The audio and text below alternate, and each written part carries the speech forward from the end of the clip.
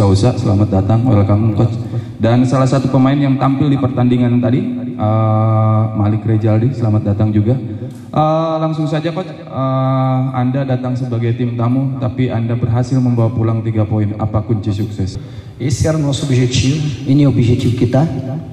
É, a gente não se importa de estar jogando em casa ou fora, a gente quer sempre buscar vitória. Kita tidak pikir kita main di luar atau di kandang, tapi kita harus mencari tiga poin. Primeiro tempo a gente não esteve bem, Di babak pertama kita tidak terlalu sempurna. a gente não conseguia elaborar o ataque, Kita tidak bisa elaborasi untuk uh, menarang lawan. estava muito ansioso para chegar logo à baliza adversária. Terlalu cepat dan buru-buru untuk kita ke gawang lawan. Mas esse time, mesmo quando não vai bem, ele compete muito. Jadi biarpun timnya tidak terlalu bagus di babak pertama tapi bisa berkompetisi. No segundo tempo, não.